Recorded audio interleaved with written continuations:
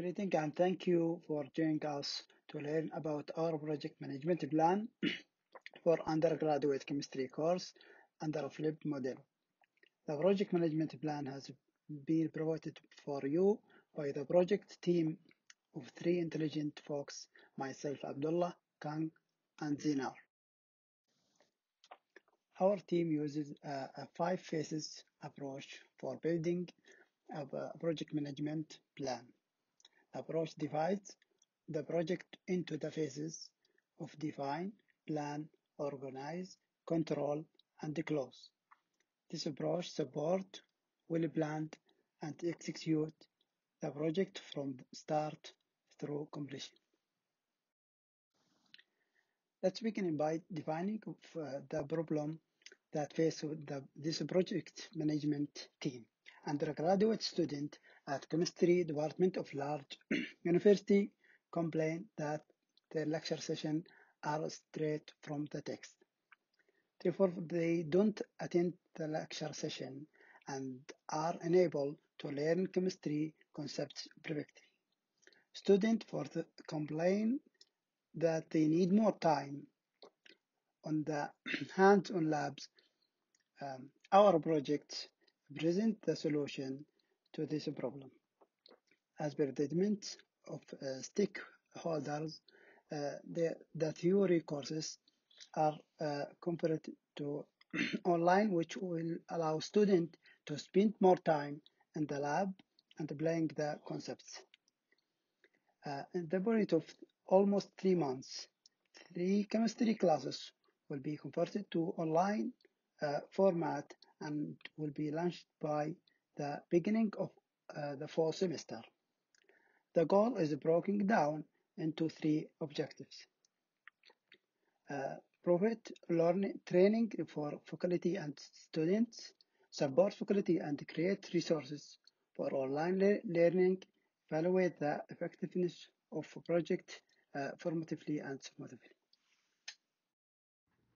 We received two different requests from client and incorporated into our plan. First, including a Leo e-learning tool. The inclusion of this tool in the plan changed the plan sli slightly and minor changes are reflected in the project and timelines. Second, squeeze the timeline by 20%. So by doing that, initial dates which were from May 1st to August 30th were changed to May 1st to August 11th. In plan phase, the most important parts are work breakdown structure, activity estimate time, and the critical paths.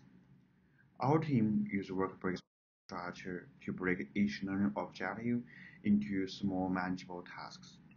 For example, we break activity 1 into four steps. For instance, draft a project timeline, set up meeting with department chair, and develop a training session plan, and implement the training. We use critical paths to identify the sequence of activities through the network. For example, 1.1 happens before 1.2.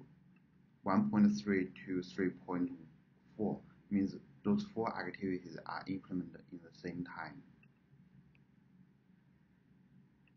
Whilst organizing the project, we have developed and employed a recruitment criteria, team organization structure, and from that we have developed a work package and assigned the work in two packages to people.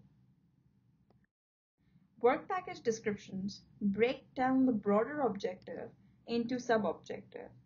Detailing these sub-objectives or tasks help our team to assign the work based on people's expertise and keep track of who is responsible for doing what and by when.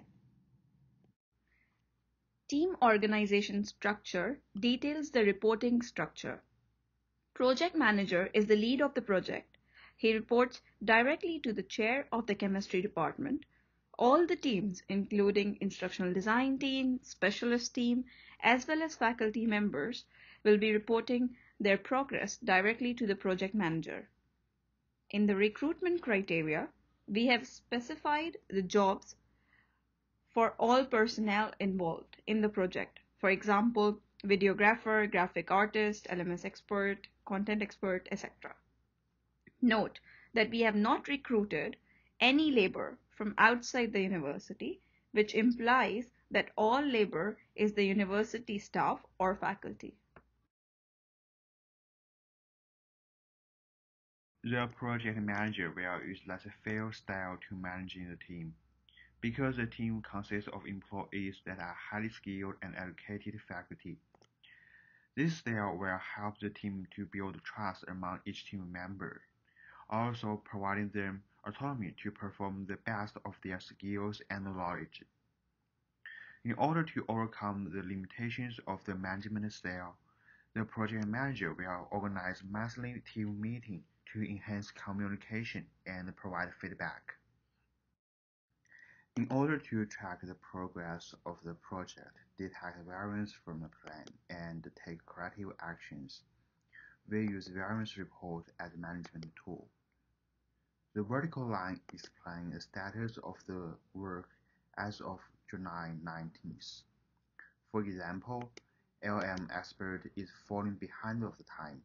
However, the graphical designer has completed his work before the schedule.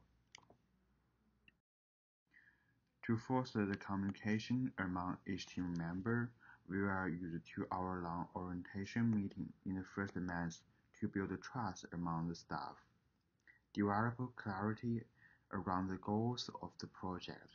Also, there would be two-hour-long monthly team meeting where each team member will share their updates on their tasks and receive feedback from each other in the project. For unexpected conflicts, the project manager will use collaborative approaches. For closing the project, we will prepare termination logistics. First, we will conduct a team meeting to discuss client's feedback, identify required modification, and assign the work to the relevant staff. Once finalized, we will submit the courses to the department chair. We will close the project office of space and financial statements and will terminate the team and their contracts. Then we will prepare a document file of all products and people terminated from the project. Since people are university staff, they will continue to report to their managers or deans. We will also conduct a post-implementation audit of the project, share the project and audit report with the client, and obtain approval. Finally, we will close the project. Finally, we will share the following with the faculty and the dean in the faculty meeting. Three newly designed courses, project presentation, project report, audit report, and sign-off closing pages. Thank you for listening to our presentation.